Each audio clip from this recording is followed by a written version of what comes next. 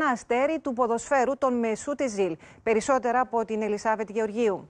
Είναι μια προσπάθεια του Ερτογάν να βάλει ένα δικό του κόμμα μέσα στο Ευρωκοινοβούλιο αλλά και στο Γερμανικό Κοινοβούλιο. Να έχει δηλαδή παρέμβαση και στα ευρωπαϊκά θέματα. Προσπαθεί να ιδρύσει λοιπόν στη Γερμανία ένα μουσουλμανικό εθνικιστικό κόμμα παρακλάδι του ΑΚΕΠΕ, στοχεύοντας τους ψήφους των 5 εκατομμυρίων μουσουλμάνων που ζουν στη Γερμανία. Ο επικεφαλής του κόμματος στο Αμβούργο, Φατίχ Ζιγκάλ, δήλωσε χθες ότι βολιδοσκοπείται ο Μεσούτε Ζιλ, ποδοσφαιριστής τουρκικής καταγωγής, πρώην παίχτης της Εθνικής Γερμανίας, ως ο επικεφαλής του συνδυασμού για τις ευρωεκλογές. Ο συγκεκριμένος ποδοσφαιριστής είναι και κουμπάρος του Ταγί Περτογάν.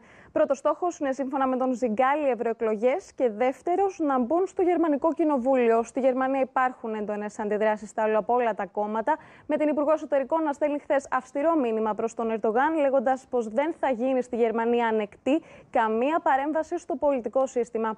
Ο Ερτογάν παρουσιάζεται για άλλη μια φορά ως ο προστάτης των μουσουλμάνων, αυτή τη φορά ωστόσο των μουσουλμάνων της Ευρώπης, θα Ελισάβη, σε ευχαριστούμε και αλλάζουμε θέμα. Οι κινητοποιήσει των